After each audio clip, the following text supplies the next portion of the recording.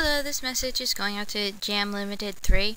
Um, my name is Joanna, and I was born, uh, I was a born again, water baptized, spirit filled Pentecostal girl until about seven months ago. I told my family that um, I decided to revert to Judaism.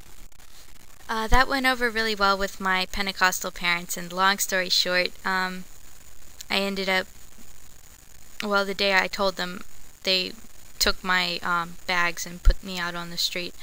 Um, but at any rate, that's uh, another story.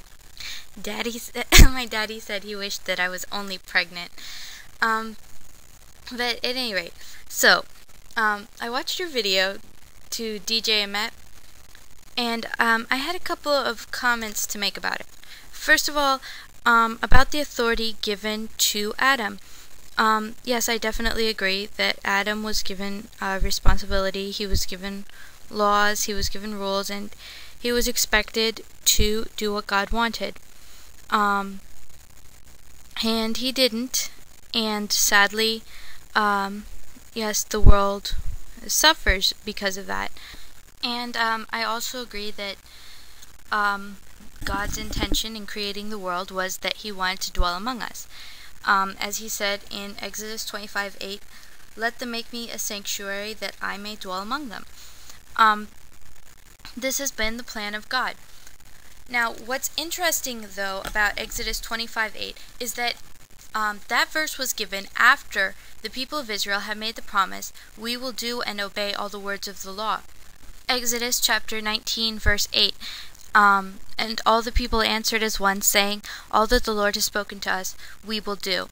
Um, so the relationship here is that the restoration of the divine glory and the divine presence in this world comes not by rejecting the law, but by accepting it and living by it. Um, I can't understand how you can call the keeping of the divine law foolishness because when I say something, I kind of expect people to listen to me. And I would think that when God says something, I kind he would kind of expect people to listen to him.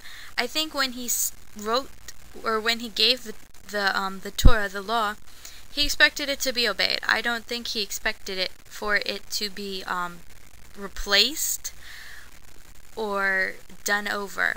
Um, for me, it's like a one-time deal. He made it, and that was it. Uh, next, I'd like to say I'm glad that you agree that the Torah is not God. So, what do you think about John 1, where it calls Jesus the um, Word or the Torah? Um,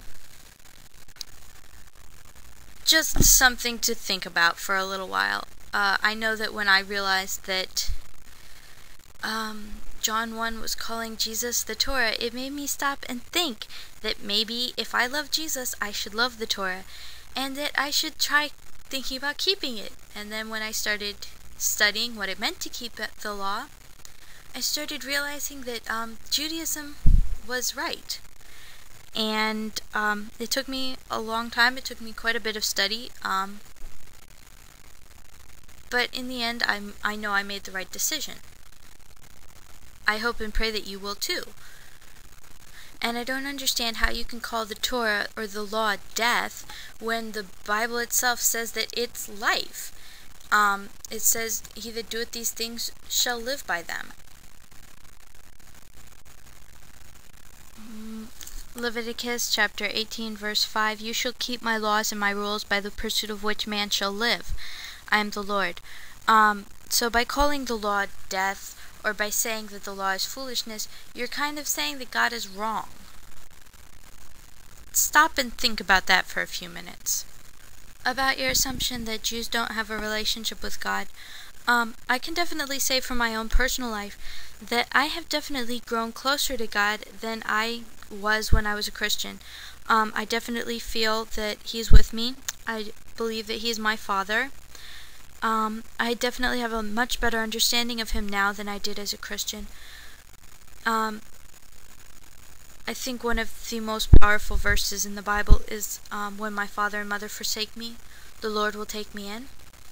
And uh, that has definitely been true for my life. Um, so I, I don't see how you can say that Jews are practicing something that is um, all rules and no relationship because I definitely feel that I have a relationship with God um, that is much greater than it was when I was a Christian.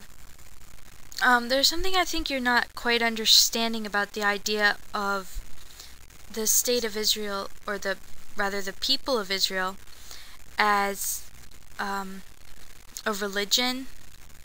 Judaism is not a religion. In an idealistic society, which um, I don't think that the current state of Israel um, is a fulfillment of this, but at any rate, in a in the correct framework, the people of Israel are to be keeping the laws of God within the land of Israel.